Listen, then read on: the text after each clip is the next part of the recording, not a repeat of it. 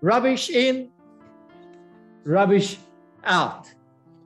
Good. What man fill the mind with will be clear in word, in action. And this is the statement I wanted to make. You just need to be around people to know where they are spiritually. Isn't it true? What man fills the mind with will be clear in word and in action. You cannot hide it.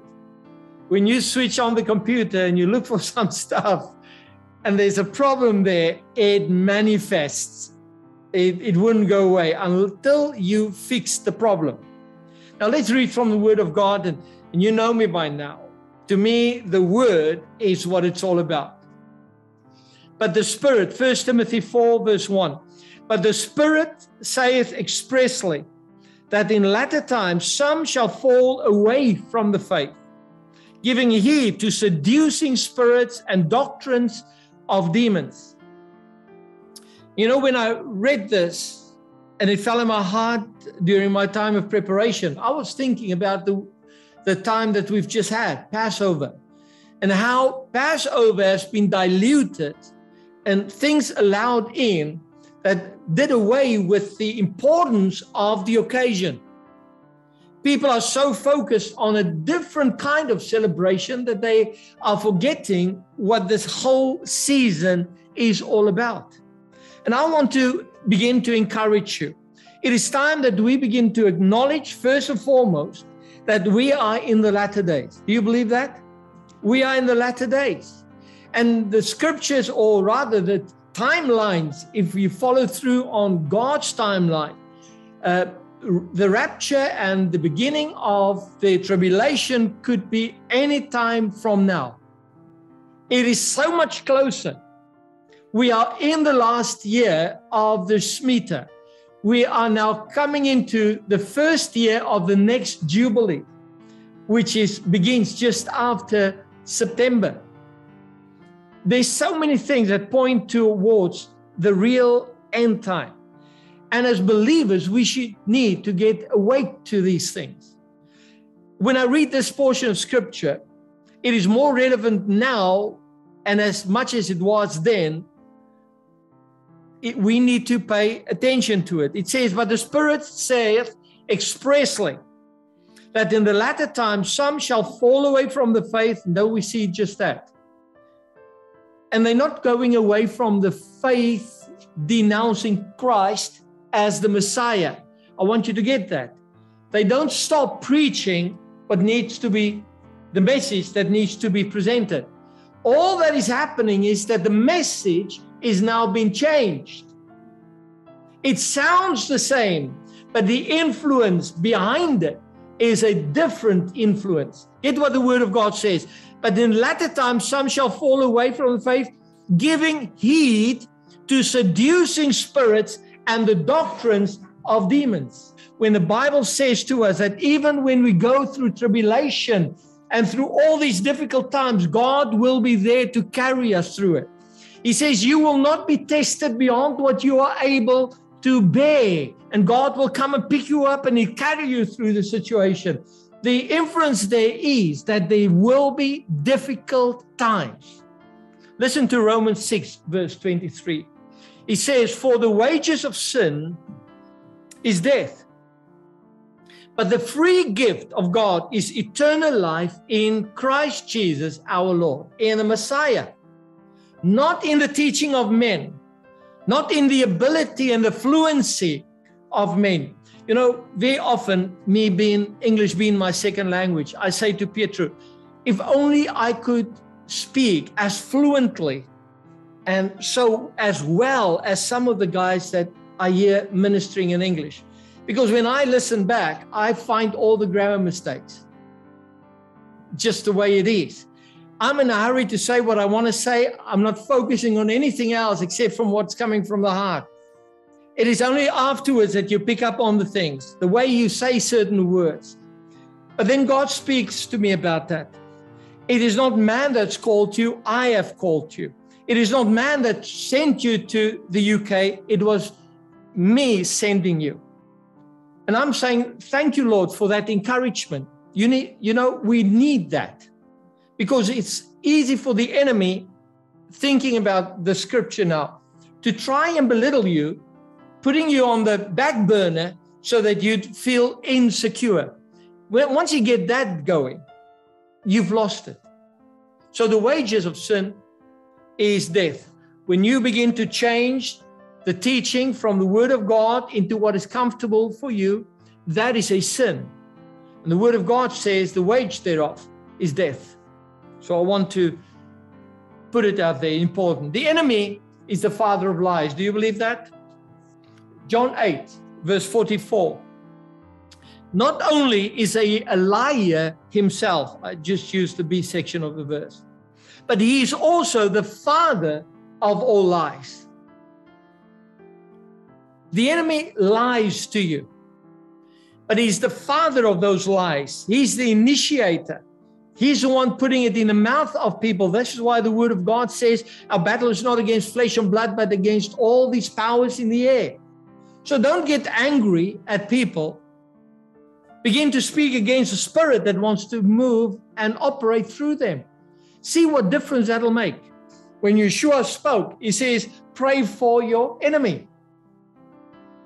Pray for the enemy. How can I pray for my enemy? Actually, easy when I don't see the man as my enemy. It is what they do. Not only is he a lie himself, but he's also the father of all lies. The greatest deception is when Christians and believers trust more in the teaching of church institutions than in the word of God. And we've just heard the, the testimony about who do you bow your knee before? Some other statue, or is it before God? And we have come into a been lulled into how important the church is, and that is the church with a small little c. The body of Christ is important, not the tradition of a church. We should always remember that. We got to get back to the Word of God. We have a formidable enemy in the in the devil. And the word of God is very clear when he says that he's the father of all lies. Salvation is in the Lord, not in any institution. No one can take you to heaven except through the blood of the Lamb. We are called to resist. Ephesians 4 14. We must stop acting like children. We must not let deceitful people trick us by their false false teachings, which are like winds that toss us around from place to place. It is amazing when I think about this portion in, in the Word of God. Isn't it? It is amazing how every couple of years something new, all of a sudden, a new revelation start rising up. And then I start listening to the content of that same revelation. And I find there's one scripture maybe that's been taken completely out of context and a whole thing has been built around that idea. We need to get back to the Word of God. And this is why I challenge you every time when I minister, when I say something, go to the scriptures, go to the Word of God, see what I've said is actually in the Word. Stop acting like children. I just love this translation, to be fair, because this is immature very often as Christians. We look at people and we can't think that they have been serving the Lord for 30, 40 years and they don't seem to grow anywhere. We are called to resist this, this deception. Now, I want to challenge you be bold, be courageous. I could just quote a few scriptures on that one, couldn't I? In the book of Joshua, especially, three times God said to Joshua, because he knew Joshua is there to fill big shoes, big sandals. Moses's. So he had something weighing down his shoulder, and God had to speak to him a few times. Say, listen, just be bold, be courageous. Hold on to what you have. The only way to fight deceit and false teaching is with the word of God. I cannot even begin to overemphasize that. It's the word of God that stops us from believing whatever you hear. You see, we've become very lazy, haven't we?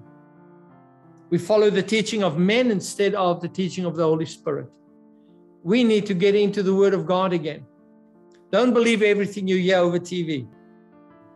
all the miracles you see, the Bible says to me very clearly, it says that in the last days, even in the time of tribulation, the Antichrist, the false prophet, will produce miracles that you would not believe is possible unless it is God. We need discernment now more than ever. Matthew, or rather, 2 Timothy 3, verse 16. All scripture is breathed out by God and profitable for teaching, reproof, correction, for training in righteousness. This is God's desire. In other words, He says, Be bold, be courageous. All scripture is breathed out by God to be profitable for teaching.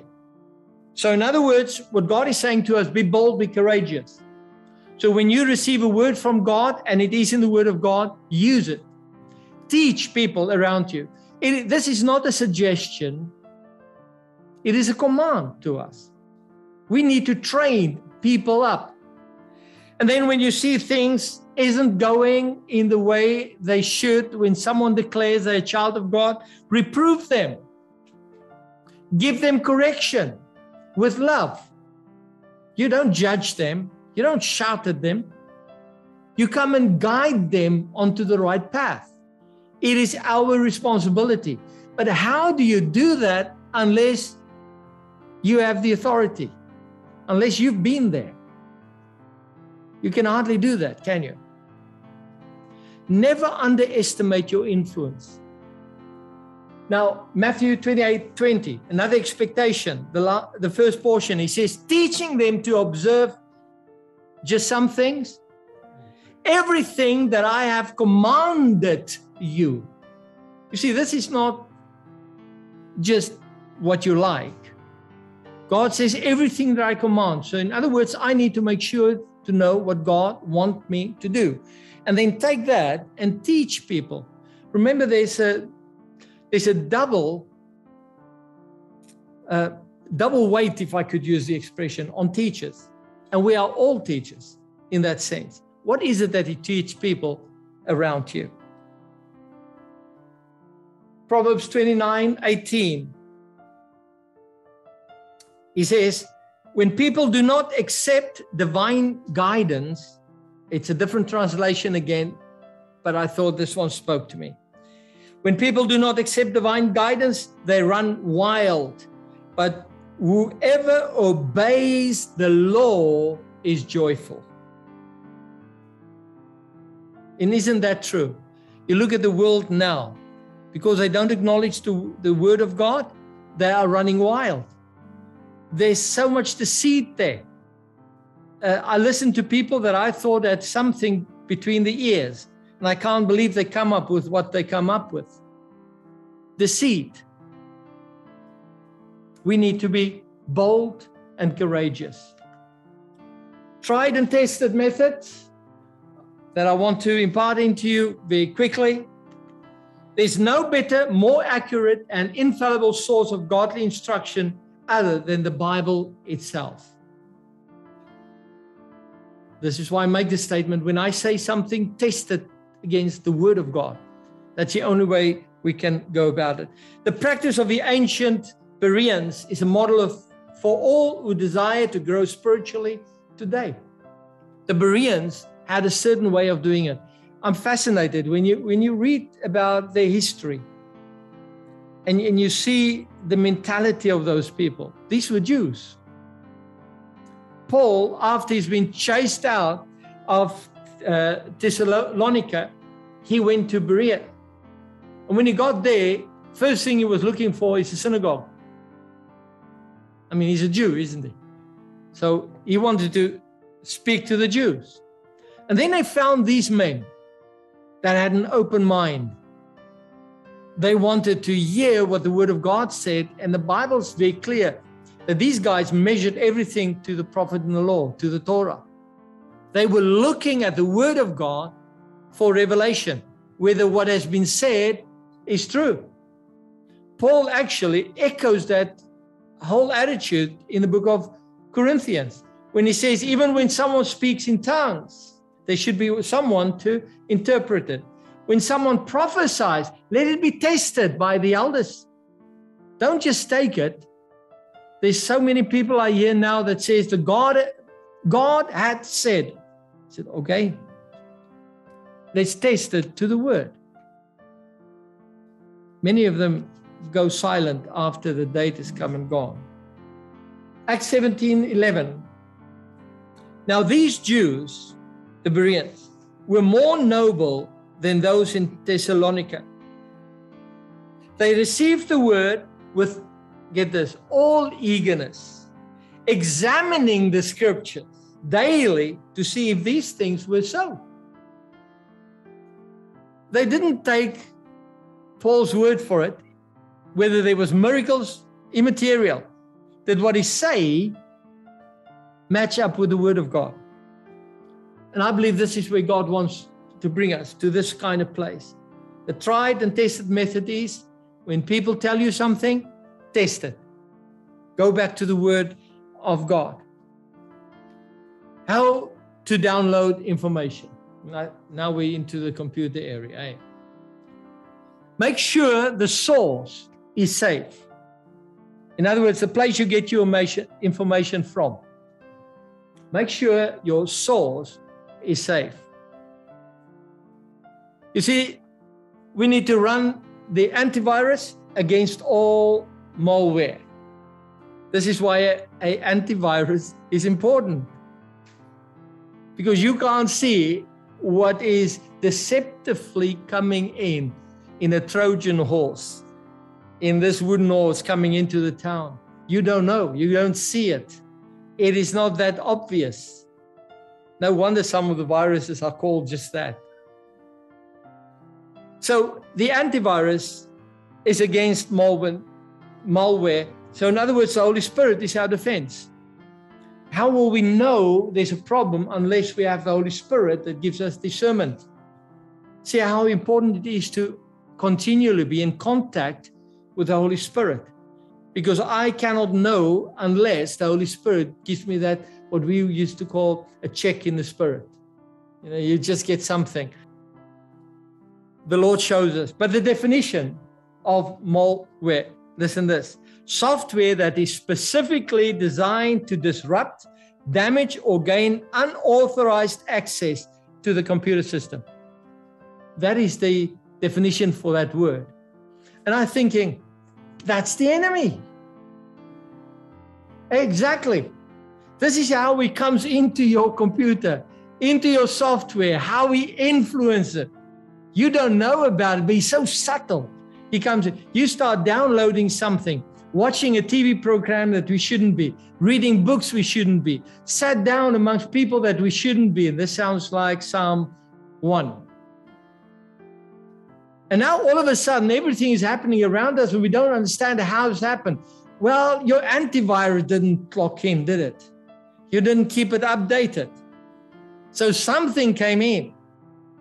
You deliberately invited this spyware into your computer. So I thought that would give us a very good analogy of the spiritual life. So if you want to be guaranteed not to upload these things, get the Holy Spirit. Have that relationship because the Holy Spirit will then show you and guide you through the process. And then in close, just three points quickly. Three ways believers should apply themselves. The first one there, we need to make the Word of God our only basis of truth and error. Don't trust man, we are fallible. Trust God. Matthew 25, 35 says, Heaven and earth shall pass away, but my words shall not pass away.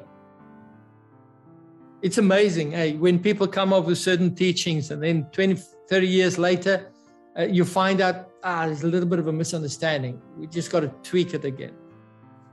Uh, scientists saying, well, the earth is flat.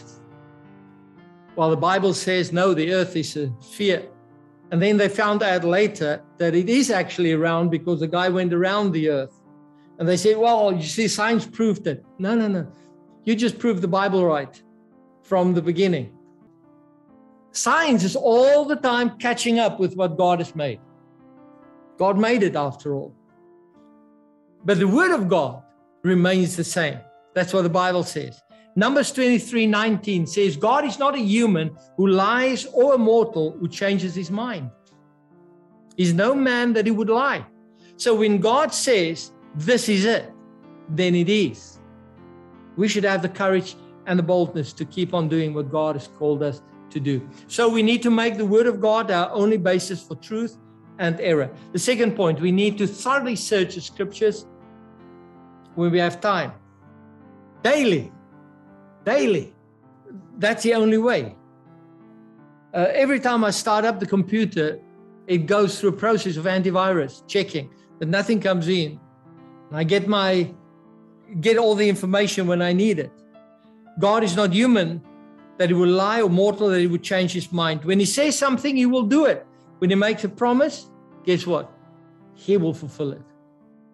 Okay, we need to thoroughly search the scripture daily. It should be more than just a time of devotion, and I deliberately added this to it. It should also be a time to receive ration for the day. Now, the, your food package for the day is only received from the Lord. So it's not about devotion only, giving Him glory, but also with an expectancy, Lord, give me what I need for today so that I can be built up. And sometimes you just need to wait in the queue. Uh, the English are good at that, isn't it? Queuing. now, we should be more than a time of devotion, it should also be a time for us to receive what God has for us. John 4 34 says, Yeshua said to them, My food is to do what the one who sent me wants and to bring his work to completion. Now, you cannot do it unless you spend time with the Lord. Get this again. Yeshua said to them, My food is to do what the one who sent me wants me and to bring his work to completion. I find there's a lot of people that don't do that last part. The word might be food to them, but want to see how it benefits my empire. Can I grow my church? I'd rather not speak about things that might upset a few people. A few years ago, when we started to go according to the word of God and and that which God has implanted into me from the middle of the 80s, and we never never materialized really because God has his season. We lost people because of the truth. And we had to make up our mind will I rather offend God or have people to be offended by the truth? Now, there's no contest there, is there? The third and last point be ready to resist all deception. Well, you wouldn't know when it's deception if you don't allow the Holy Spirit to show you. Psalm 19, verse 14. He says, Let the words of my mouth and the meditation of my heart be acceptable in your sight, O Lord, my rock and my redeemer. I want to challenge you. Make this scripture the one scripture for a month, argument's sake, that you start every day off with. This is the scripture that Peter and myself pray. Because we need to be in a situation where the words of my mouth, that which I say, need to be in line with the word of God and the intention of my heart pleasing to God. In other words, it's not about what I want, it's about what God wants. So it's important that our meditation of our heart, the last scripture there, John 15, verse 7. If you abide in me and my words abide in you, this is Yeshua speaking. Ask whatever you will, and it will be done for you. How often have you asked the question, why do my prayers not get answered? Have you asked those kind of questions? I have. But then the word takes me back to the scripture. The more time I spend with God, the more I know what the will and plan is of God. And this scripture says actually that when I pray anything in the will of God, it will be given me. So it's not about my plans, it's about God's plans. God has just the best plans for you. Isn't that amazing? So let us trust in Him. Rubbish in, rubbish out. So it all depends on what we put in. The result of what I put in will be manifested. But if I put good stuff in, that's exactly what I will experience. Be careful what you download. Keep your antivirus up to date. Bible says be filled with the Spirit daily. We need to be daily filled with the Spirit, having that anointing on us. And then, of course, rely on the Holy Spirit and not on your own understanding. Now, I pray that you would have paid attention to the fact that we all need an antivirus. We all need to stand against the deception of the enemy, and you cannot do it unless you spend time with the Lord. And that very first scripture, 1 Timothy 4 1 that we started off, for the Spirit saith expressly that in the latter times some shall fall away from the faith, giving heed to seducing spirits and doctrines of demons.